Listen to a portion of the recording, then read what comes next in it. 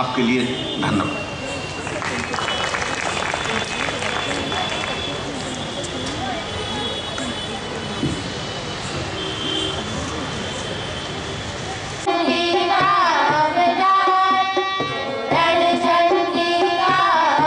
Doctor Nandita पाठक जिन्हें आज हम यहाँ इस मंच से सम्मानित करेंगे। सुनीता पाठक को आमंत्रित करती हूँ विशिष्ट अतिथि। डॉक्टर नंदिता पाठक जो कि दीनदयाल शोध संस्थान चित्रकूट की निदेशक हैं जो कि अत्यंत प्रतिभावान मेहनती साहसी व अथक परिश्रम करने वाली महिला हैं। एक जुलाई उन्नीस सौ इकहत्तर को आंध्र प्रदेश के बेनुकोंडा में हुआ था। इधर देखिए आपने मैडम, इधर देखिए, सामने। स्नातकोत्तर तक शिक्षा प्राप्त की है।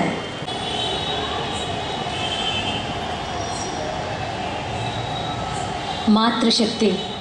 शौर्य दिवस के उपलक्ष्य में मंच पर विराजमान आज के सम्माननीय मुख्य अतिथि महोदया जी, प्रोफेसर श्रीमती स्वतंत्र शर्मा जी, कुलपति महाराज मान सिंह संगीत विश्वविद्यालय, आज के इस कार्यक्रम के गरिमामय अध्यक्षता स्वीकार किए हुए सम्माननीय डॉक्टर श्रीमती वीरा वीरा लोहिया जी, अभी हम सब लोगों के बीच में पधार कर अन्यत्र काम में व्यस्त होने के कारण अपने बीच में अपने घर को लौटी हुई विशिष्ट अतिथि श्रीमती सुमीक्षा गुप, समीक्षा गुप्ता जी, महापौर ग्वालियर एवं इस कार्यक्रम, इस संस्कार भारती के सम्माननीय अध्यक्ष महोदय जी, डॉक्टर चंद्र प्रकाश गुप्ता जी, संयोजक डॉक्टर ममता शर्मा जी, महामंत्री दिनेश चंद्र दुबे जी एवं इस कार्यक्रम को संयोजन कर रहे नीलम गुप्ता जी कामता नाथ जी एवं आज हम सब लोगों को मार्गदर्शन देने एवं अच्छे काम में लगकर भारत को एक सही दिशा में ले जाने वाले जिनका आज यहाँ पर सम्मान हुआ है, ऐसे मातृशक्ति को मैं प्रणाम करती हूँ। एवं इस सभागार में उपस्थित सभी बंधु भगनियों का हम हार्दिक स्वागत करते हैं, अभिनंदन करते हैं एवं वंदन करते हैं। ये हमारे लिए बड़ी सौभाग्य की बात है। चमक उठी सन संतावन की वह तलवार पुरानी थी। हम लोग सुनते आए, पढ़ते आए। सुभद्रा कुमारी द्वारा लिखा हुआ कविता आज भी बहुत प्रासंगिक लगता है। लेकिन लोग कहते हैं, पुरानी चीज़ों को कौन याद करेगा? लेकिन हम लोगों को आज भी यदि वो प्यारे बच्चे यहाँ जब गा रहे थे चमक उठी सन संतावन की वह तलवार पुरानी थी और रानी लक्ष्मीबाई जी का यहाँ पर जो नाटक प्रस्तुत कर रहे थे, ऐसा लगता है कि उसमें हम लोग कहीं ना कहीं शामिल होते जा रहे हैं इन्वॉल्व होते जा रहे हैं और इन चीज़ों को आज भी हम लोग नया महसूस करते हैं और दिल में आज भी आघात पहुँचता है। किस तरह वो एक लड़की छोटी सी, इतने बड़े अंग्रेज़ों के साथ वो लड़ाई लड़ी होगी, क्या करी होगी, कितना कष्ट सहा होगा। इसी तरह आज जिस माँ का यहाँ पर सम्मान हुआ है। कोई भी काम करना इतना आसान नहीं है। सम्मान हम लोग बहुत छोटी चीज़ों से ऐसे माताओं का करते हैं। ये सम्मान मात्र इसीलिए कि हम लोगों को खुशी होती है। ऐसे कोई अच्छा काम करता है, उनको हम लोग यदि संस्कार भारती की तरफ़ से हो या अन्य ऑर्गेनाइजेशंस के तरफ़ से मंच पर बुलाकर जब उनका सम्मान करते तो अपनी आत्मा को संतृप्ति होती है। लेकिन काम करने वाले लोगों को इसका कोई फ़र्क नहीं पड़ता, क्योंकि उनको दिन प्रतिदिन एक नई सोच, नया अभिनव प्रयोग लेकर काम करते जाना है। लेकिन यदि संस्कार भारती ने हमारे जैसे छोटे कार्यकर्ता एवं इतने बड़े बड़े कार्यकर्ता जिन्होंने समाज को कुछ दिया है, जिनका कोई माता पिता नहीं होता, उनको माँ का प्यार देना सबसे बड़ी बात होती है। आज जो लोग घर में रहते हैं जो माता पिता बच्चों को पैदा करते हैं, उनके पास खुद ही समय नहीं है कि हम अपने बच्चे क्या पहन रहे, क्या ओढ़ रहे, क्या संस्कार सीख रहे, क्या काम कर रहे हैं वो किस दिशा में जा रहे हैं, उनकी इच्छाएँ क्या है, ये देखने के लिए हम लोगों के पास समय नहीं है। जिसके कारण आज आप देख सकते बिगड़ती हुई जो भी समस्याएँ हैं। हम लोग यदि जब भी कोई न्यूज़पेपर खोलते हैं, जब भी टीवी का न्यूज़ सुनना शुरू कर देते हैं तो बड़ी बड़ी जो विषमताएँ हैं, चाहे वो बेरोजगारी को लेकर हो, चाहे बेकारी को लेकर हो, चाहे भ्रष्टाचार को लेकर हो, चाहे दुराचार को लेकर हो, अन्यत्र बातों के ऐसे डिस्कशंस पूरे टीवी में होते हैं, हम लोग भी उसमें थोड़ी देर के लिए इन्वॉल्व होते हैं। और वो समस्याओं का ऐसा लगता है कि तुरंत ही उसका निदान होने वाला है। लेकिन कुछ ही दिनों में वह सब चीज़ें भूलकर, उससे बड़ी विकराल समस्या यदि सामने आ जाती है, फिर उसके ऊपर हॉट डिस्कशन होना शुरू हो जाता है।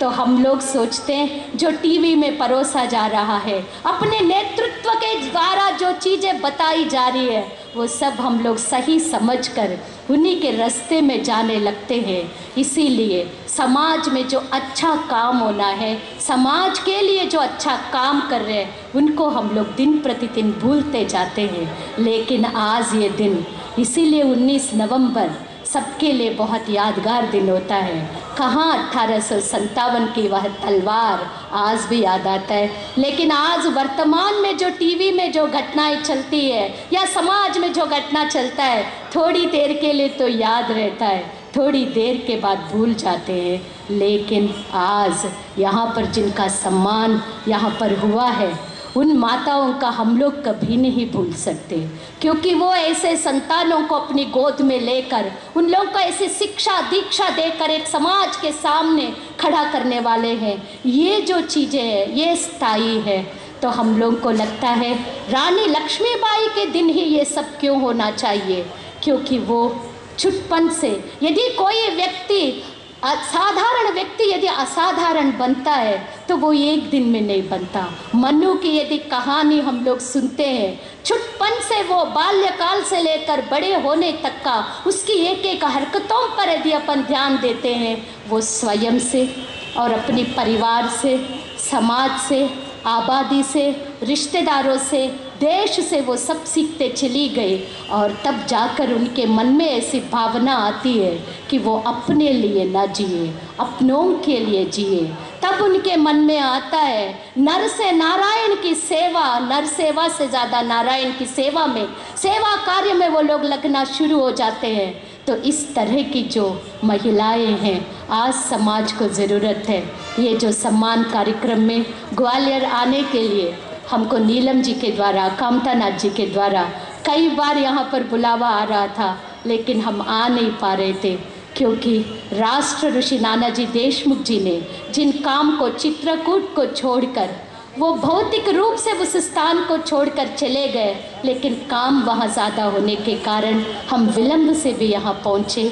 इसके लिए मैं उपस्थित सभी बंधु भगनियों से, आयोजकों से मैं माफ़ी चाहती हूँ, लेकिन हम दिखावा के लिए देर नहीं किए।